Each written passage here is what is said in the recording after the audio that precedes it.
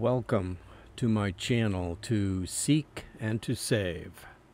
Someone once wrote, and I quote, The very nature of society is dynamic and changeable.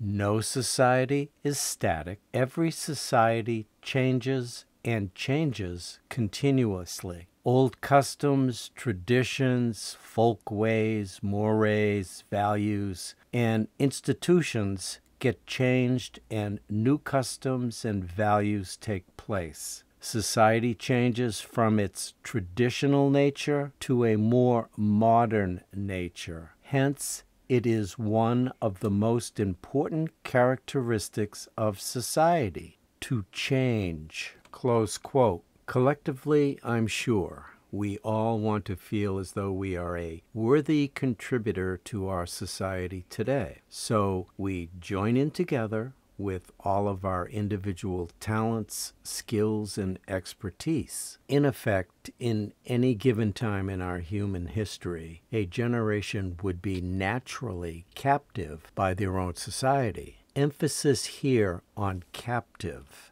However, for a Christian, we have a problem. As firstly mentioned, society changes from its traditional nature to a more modern nature through technology, medicine, science, education, and research, etc. And for me, all of this change is good and it is welcome. However, some very important aspects of what helped build our society is fading away at an alarming rate. It seems in this generation, as it changes to modernize itself, has no longer the need to control its morality. So, within my generation, and I was born in 1948, looking back, I can see the good the bad and the ugly of this societal change. The good being the growth of technology,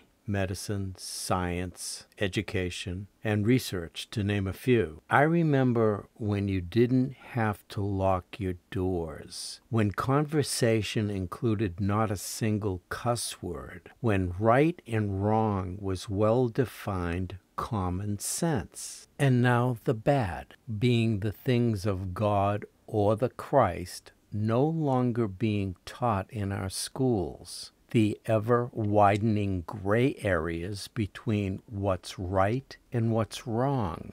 Good and bad becoming less and less discernible. Pornography, drugs, reveling, divorce, covetousness, etc., etc all becoming more acceptable. And finally, the ugly. The lack of morals in our society will continue to unfold in front of our eyes. A godless society being created in my generation, one in which it will be okay to lie if you can get away with it. You know the end justifies the means, where the F bomb is being used in almost every sentence, where children can be taught to become the opposite sex, school teachers teaching the benefits of being a transvestite or effeminate, as seen in this YouTube video entitled Public School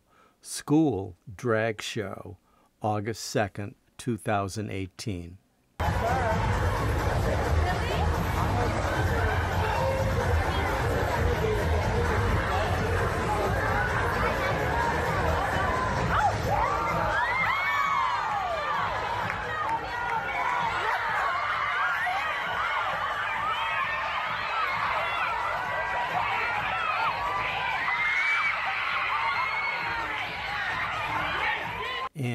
this YouTube video entitled Footage of a Full Drag Queen Show at Elementary School Leaves Parents Horrified, June 2nd, 2017. Drag Queen Reading Hour is a program that unsurprisingly has origins in San Francisco. What these events are is typically a local working drag queen will come into a private bookstore or public library and do a reading for small children. Now, these performers come in dressed in full drag as if they are performing at a drag show and they read to children for about 45 minutes to an hour. In fact, you don't have to spend very much time on their website to find testimonials from teachers who have had these events hosted in their public school. I felt compelled to read this testimonial to you aloud. What an amazing way to teach individuality, empathy, and acceptance.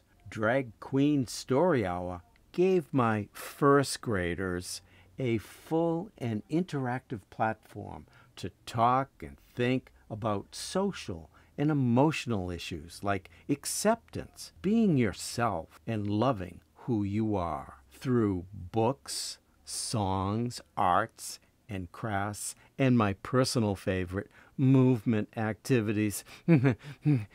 they explored these issues and had an amazing time doing it. During our debrief after Drag Queen Story Hour, they were preaching the incredible lessons they had learned, like it's okay to be different, and there's no such thing as boy things or girl things. I was proud to be able to have DQSH at my school and will definitely be planning another story hour for next year. Drag Queen Story Hour allows preschool children to deepen and complicate their ideas about gender at the exact age when they are often developing rigid ideas on this concept. I would invite Drag Queen Story Hour back to my school anytime. Etc., etc. There you go. The good, the bad, and the ugly, all unfolding in my generation. Because of this transition between traditional society and modern society. This being said, and it won't take a genius to figure it out in short time, where this is all going to next. In my generation, lawyers will be making money hand over fist. Individuals in our society suing one another for lies, half truths, deception, breach of contract, divorce, misrepresentation, etc., etc. And this producing corrupted politicians and those that lord over us only for personal financial gain, and where the health of their country's society that elected them is the last thing on their mind, leading, of course, to corrupted agreements with other countries and other societies that will only end up in war, which is the ultimate end of any godless society.